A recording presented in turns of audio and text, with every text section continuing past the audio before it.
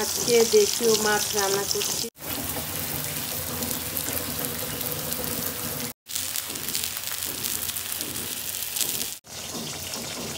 আর সিম রান্না হচ্ছে, শীতকালে সবাই বাসায় এখন এখানে রান্না হয়